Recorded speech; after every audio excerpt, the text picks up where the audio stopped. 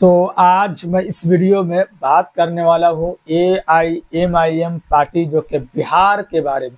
क्योंकि बिहार में अभी चुनाव में बहुत समय है 2025 में विधानसभा का चुनाव है, लेकिन पार्टी अभी से ही काम करना शुरू कर चुकी है।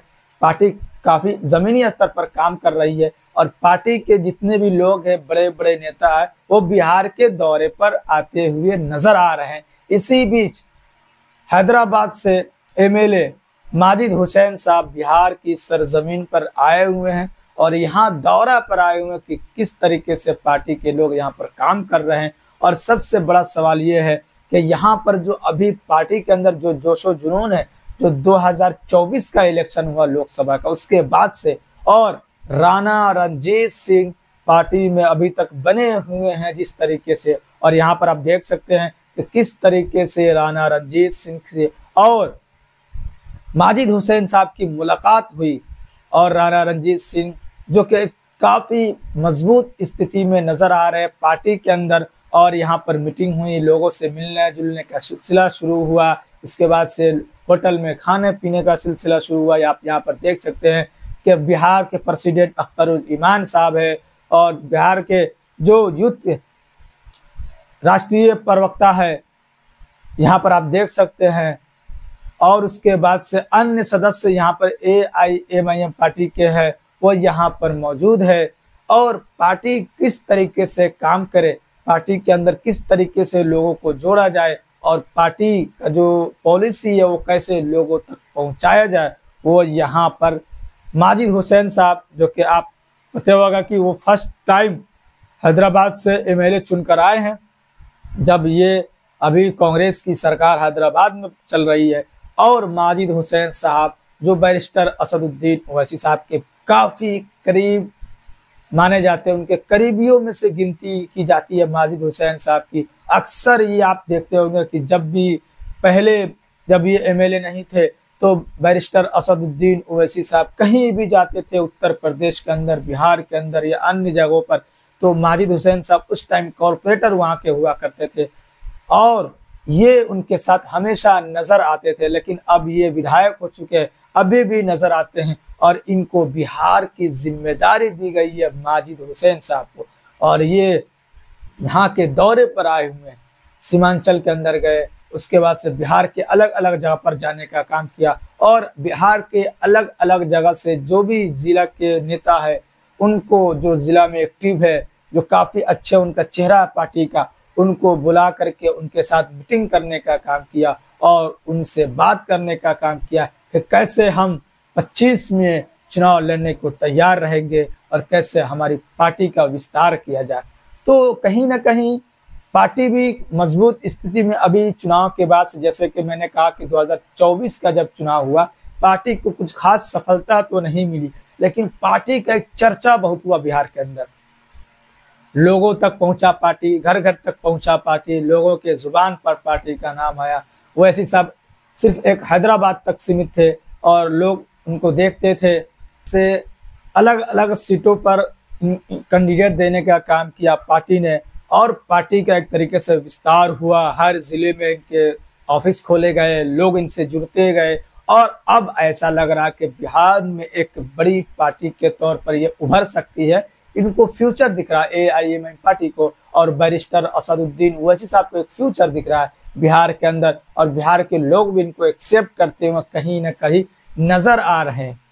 इसलिए क्योंकि जहाँ भी जा रहे हैं, पार्टी का विस्तार हो रहा पार्टी के अंदर लोगों का जुड़ना शुरू हो चुका है और इसी तरीके से हैदराबाद से जो वहाँ के नेता है, वहाँ के एमएलए है वहाँ के जो भी वहाँ के लोकल बड़े नेता है, वो दौरे पर यहाँ पर बिहार के अंदर पहुँचे हुए हैं। जैसे कि मैंने बताया कि माजिद हुसैन साहब, जो कि पार्टी के एक बहुत ही अच्छे चेहरे माने जाते हैं, और यंग नेताओं में इनकी गिनती होती है फ़र्स्ट टाइम ये एमएलए बने हैं, और ये पार्टी ने एक कॉरपोरेटर को ज़मीन से उठा करके एमएलए बनाने का काम किया। इसी तरीके से बिहार के अंदर मतलब राणा रंजीत सिंह ने कहा था कि हम कम से कम बिहार के अंदर 50 50 प्लस विधायक देने का काम करेंगे अगर हम इसी तरीके से मेहनत करते रहे और पार्टी के अंदर लोग जुड़ते रहे और पार्टी का इसी तरीके से विस्तार होता रहा तो हम सब मिलकर, एक साथ हिंदू, मुस्लिम सब मिल करके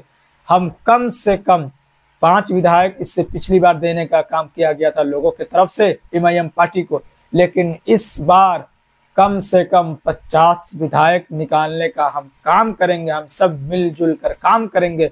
तो कम से कम बिहार के सरकार में हम एक हिस्सेदार बन सकते हैं। और मुसलमानों की एक अहम रोल हो सकता है। जिस तरीके से दरकिनार किया जाता है मुसलमानों को उनको टिकट नहीं दिया जाता। अगर दिया भी जाता है तो बहुत कम दिया जाता। और कोई अगर सीट भी जीत कर कोई विधायक आते हैं तो उनको बड़े पोस्ट पर बैठाया नहीं जा, जाता। और उनको एक अहम रोल जिस तरीके से 14-15 परसेंट की आबादी है उस तरीके से उनको बड़े पोस्ट नहीं दिए जाते। तो कहीं ना कहीं जो मुसलमानों पर अत्याचार किया जा रहा है या उनको दरकिनार किया जा रहा है पोलिटिकल के हिसाब से, राजनीति के हिसाब से उनको उनको राजनीतिक में, उनको राजनीति में उनको, उनकी हिस्सेदारी उनको नहीं दी जा रही है, जितनी उनकी आबादी है उस हिसाब से। तो ये सब जो लड़ाई है, राणा रंजीत सिंह के बैनर तले लड़ाई जा रही है, जो कि शिवहर से पूर्व कैंडिडेट थे और फ़िलहाल अभी बिहार के अलग अलग क्षेत्रों में घूमने का काम कर रहे हैं, पार्टी का विस्तार करने का काम कर रहे हैं और पार्टी ने एक अहम जो उनको ज़िम्मेदारी दी है, वो भी निभाने का काम कर रहे हैं। और आप देख सकते हैं कि पार्टी हमेशा इनके साथ खड़ी नज़र आती है और पार्टी के जो भी बड़े नेता होते हैं, चाहे छोटी मीटिंग हो या बड़े मीटिंग हो, हर मीटिंग में राणा रंजीत सिंह शामिल होते हैं।